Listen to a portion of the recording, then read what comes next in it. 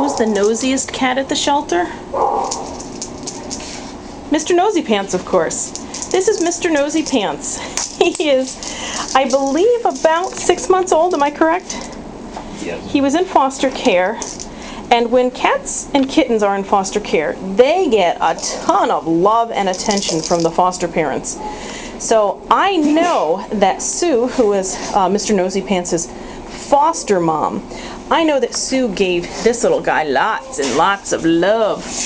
And she tells me that he's named Mr. Noseypants because he is um he's quite the character.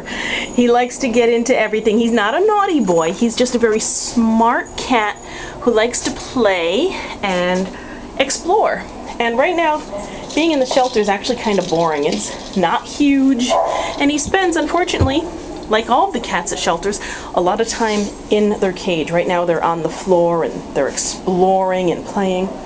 But he'd love to get adopted so that he could have a forever home and have a real bed and a real couch and be able to hang out with you. So please consider this character.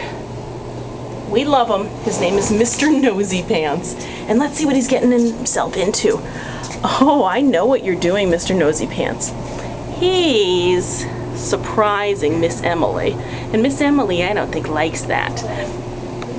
He's always doing something. He's a character. We love this guy. And I know you would too. Give him a chance and adopt him at Noah's Kingdom Humane Society.